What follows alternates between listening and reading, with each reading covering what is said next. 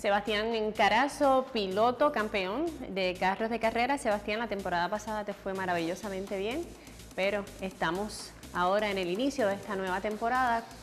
¿Qué va a ocurrir en esta temporada y cuándo va a dar inicio? Pues esta temporada empieza ahora, eh, en este fin de semana, corremos en St. Petersburg, en Tampa, corremos junto a IndyCar, que son, vamos a estar corriendo este año de Support Series de IndyCar y de IMSA. Este, tengo dos carreras este fin de semana, tengo una carrera el sábado y una carrera el domingo, en horas de la mañana. Y eso da inicio a toda la temporada. Son, van a ser ocho fines de semana de carrera, este, que son dos carreras por fin de semana en ocho estados, en ocho estados diferentes. Sebastián, ganaste el campeonato el año pasado, eso siempre trae cierta responsabilidad, un poquito más de presión. ¿Cómo te sientes de cara a esta nueva temporada? Al venir del campeonato el año pasado, estaba corriendo en la categoría Gold. Ahora al cambiar del auto, cambia a la categoría Platinum. este, los carros son un poco más rápidos, son casi dos segundos por vuelta más rápido el carro.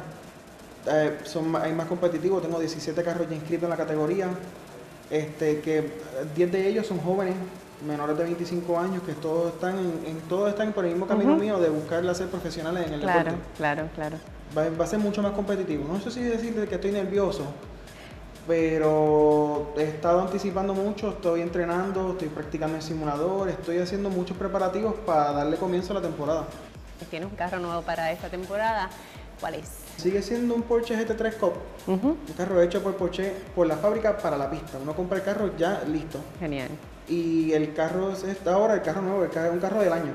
Y eso trae, en comparación con el auto que, que manejé el año pasado, trae 50 caballos más, trae unas 35 libras de torque más y eso para el que no le entiende muy bien, es arroba bichuela, el carro es más rápido acelerando. Es más rápido arrancando y tiene y en, recta puede llegar a, 7, 8 millas por hora más, que la velocidad máxima del carro son 180 millas por hora. Claro, ¿hay algún corredor, algún piloto eh, que tú digas, esa es mi competencia, que tú siempre lo ves? ¿A quién está ahí más cerquita de Sebastián? Pues, este año, de los que vi inscritos hasta ahora, hay dos pilotos que manejaron el año pasado ya la temporada, que dieron un buen desempeño. Está Riley Dickinson, joven, tiene 18 años, todavía estaba, todavía se estaba graduando de high school el año pasado. Este, que es muy buen piloto, dio buenas, dio como dos o tres buenas carreras que llegó a primer lugar el año pasado.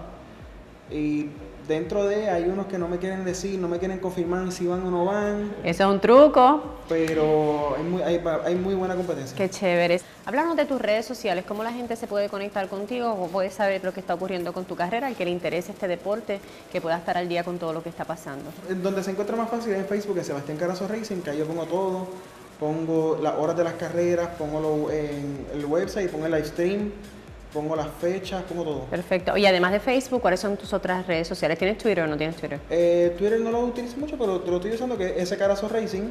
¿Y en, Instagram? En Instagram es ese Carazo. Bueno, te deseamos muchísimo éxito, Sebastián. Vamos a estar pendientes a esta nueva temporada y queremos que estés con nosotros en las ocho paradas para saber todo lo que está ocurriendo contigo. Cuenta conmigo. Gracias.